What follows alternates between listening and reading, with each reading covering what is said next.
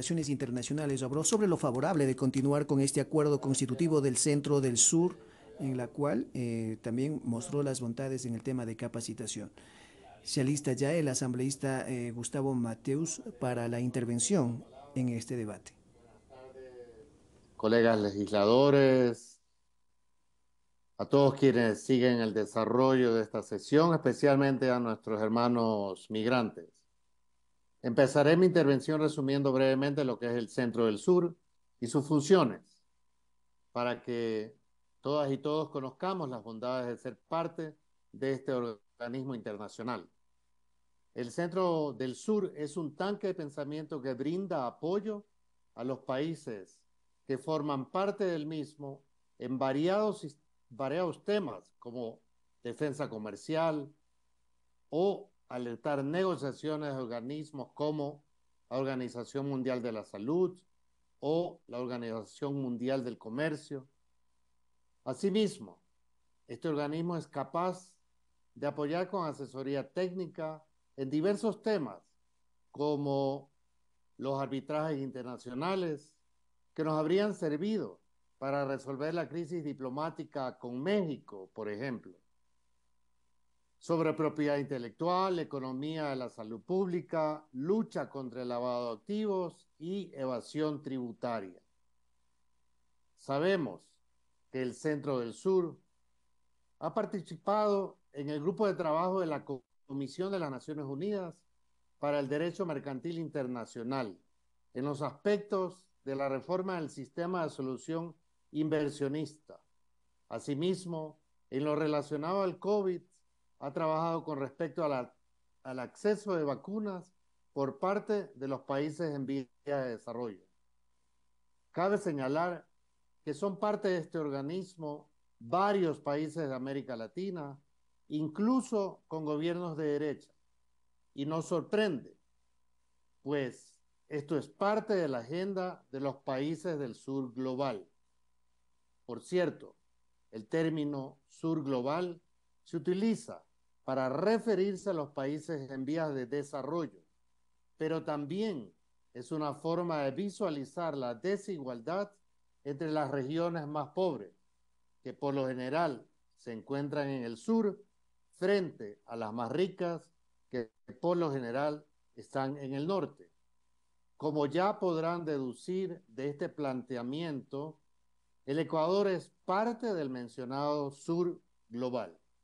Así, la creación del Centro del Sur responde a una resolución de las Naciones Unidas de 1991, en la que se alienta a la cooperación de los países en desarrollo.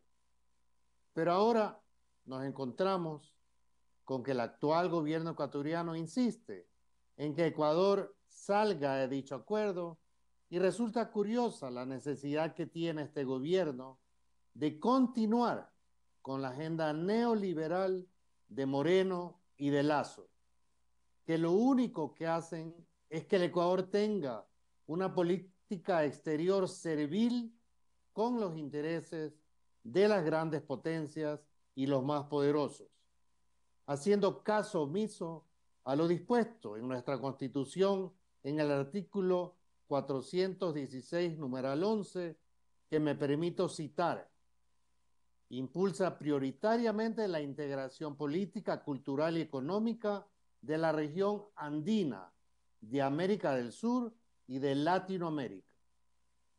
Las justificaciones que recibimos por parte de las autoridades y que constan en el informe no son, a mi parecer, razones de peso para denunciar el acuerdo constitutivo del Centro del Sur, que justamente, como indiqué, brinda apoyo a los países del sur global. El tema económico es uno de ellos.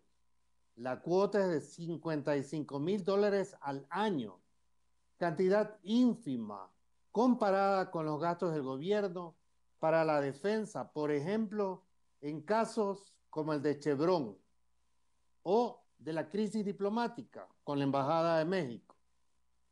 Antes de continuar, Solicito, señor presidente, autoriza Secretaría la proyección de un video que entregué con anticipación.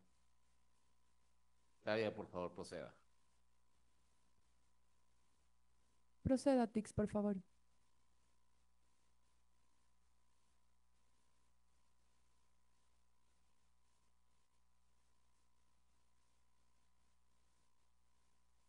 Centro Sur es un organismo intergubernamental. Agradeciendo su intervención y recogiendo sus últimas palabras, quisiera insistir en ese punto, ya que uno de los argumentos de la Cancillería ecuatoriana para salir de este acuerdo era justamente el económico le preguntaría puntualmente qué pasaría si Ecuador no pudiera honrar esa contribución económica. Muchas gracias. Adelante.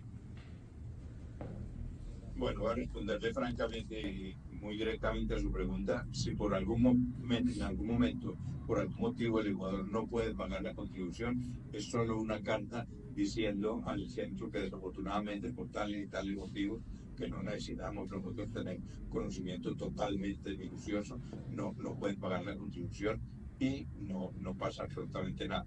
El, país puede seguir siendo miembro exacto de Centro Sur y puede seguir beneficiándose de los servicios que nosotros eh, ponemos a disposición de los países.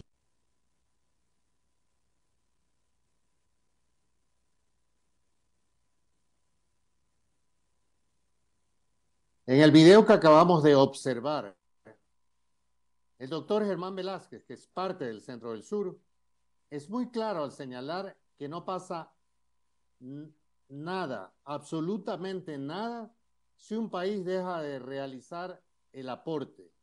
Únicamente se necesita que el país justifique el por qué no se puede honrar esa contribución. Repito, no pasa absolutamente nada. En nuestro caso, Ecuador no recibiría sanciones y menos exclusiones. Por otro lado, desde el gobierno nacional indican que no se ha utilizado el asesoramiento del centro. Sin embargo, uno de los comparecientes en la Comisión de las Relaciones Internacionales y Movilidad Humana, el catedrático Sebastián Espinosa Velasco, manifestó que cuando fue funcionario público asistió como delegado por lo menos a dos cursos del Centro del Sur, cito textualmente, con altísimo nivel, con especialistas de alrededor del mundo. Es un espacio de diálogo. Quiero decir que tiene mucha credibilidad a nivel internacional.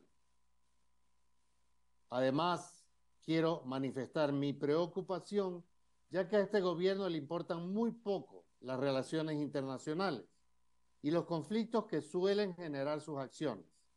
En este sentido, me permito recurrir nuevamente a las palabras del mismo doctor Velázquez, quien en su intervención en la Comisión de Relaciones Internacionales también supo manifestar que si se llegara a tomar la decisión de dejar de ser parte del Centro del Sur, abro comillas, los países en desarrollo, los países vecinos, los países de América Latina que tienen una admiración hacia un país como Ecuador, no van a entender este gesto.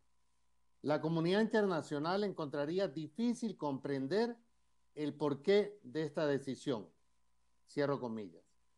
Tengo la impresión que como ya lo ha hecho este gobierno en otras ocasiones, lo único que buscan es acabar con una iniciativa que surgió en el gobierno de la Revolución Ciudadana. Le queda un minuto. Con cualquier excusa. Gracias, señor presidente. Termino. Y con cualquier excusa quieren continuar con su característico servilismo hacia los Estados Unidos. Por eso, con mis compañeros Raiza Corral y Ricardo Urcuango, hemos elaborado un informe de minoría que esperamos sea tratado y aprobado en este pleno. En virtud de todo lo mencionado, espero, colegas legisladores, que actuemos en coherencia con los intereses de nuestra patria y votemos en contra de un informe de la Comisión que responde a la continuación de los intereses neoliberales de Moreno y de Lazo, sobre todo cuando el ser parte del centro del sur ayuda, entre otras cosas, a prevenir la evasión tributaria. Gracias.